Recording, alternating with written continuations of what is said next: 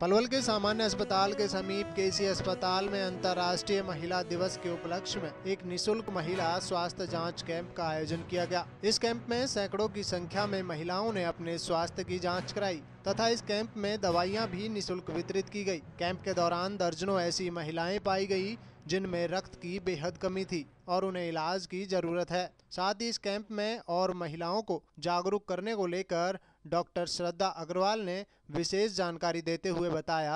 मेरा नाम डॉक्टर श्रद्धा अग्रवाल है और आज हम अंतर्राष्ट्रीय महिला दिवस पे फ्री एच का कैंप कर रहे हैं, जिसमें सारी महिलाओं में काफ़ी उत्साह नज़र आ रहा है। सभी आसपास की महिलाएँ और जो हमारे यहाँ पे चेकअप कराने आई हैं, उन, वो सभी महिलाएँ बढ़ चढ़ के इस कैंप में हिस्सा ले रही हैं। और आज हमने अभी तक 31 महिलाओं का, की जाँच कर ली है, जिसमें कि 10 महिलाओं में काफ़ी खून की कमी पाई गई है, जिनका हीमोग्लोबिन सिर्फ़ 6 और 7 ग्राम पाया गया है। तो आज अंतर्राष्ट्रीय महिला दिवस पे मैं सभी महिलाओं को एक ही संदेश देना चाहती हूँ कि आप लोग ही आगे बढ़ के अपना उत्थान कर सकते हो। तो सभी महिलाओं को स्वयं ही आगे आना चाहिए।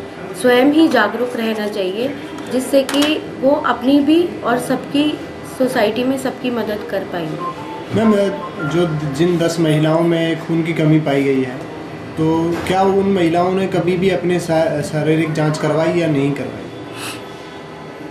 सभी महिलाएँ आपको आश्चर्य होगा यह जान के कि सभी महिलाएँ प्रौढ़ावस्था की थी जिनकी उम्र 40 से ऊपर थी।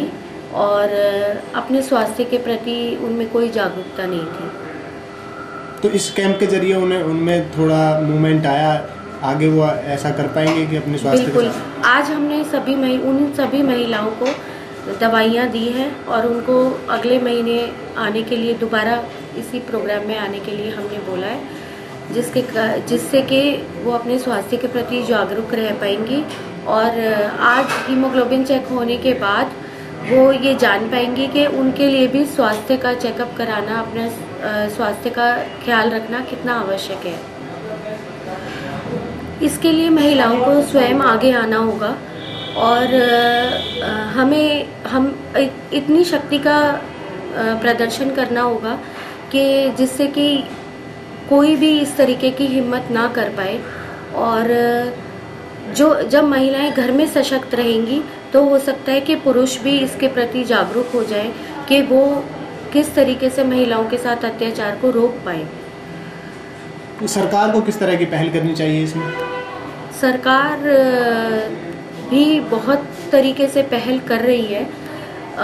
और सरकार की तरफ़ से जो सिक्योरिटी है महिलाओं के लिए वो बढ़ा देनी चाहिए।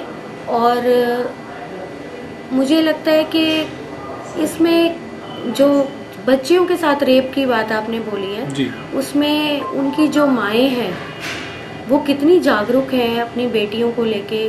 वो किस तरीके का से उनको शिक्षित करती हैं?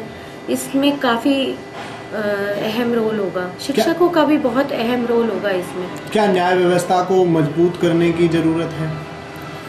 न्याय व्यवस्था को मज़बूत करने का तो पहला कदम होना ही चाहिए। अगर न्याय व्यवस्था मज़बूत नहीं होगी अभी जैसे आपने दो खबरें बताई हैं कि दिल्ली में भी हुआ पलवल में भी हुआ तो गिरफ्तारियाँ भी हुई हैं।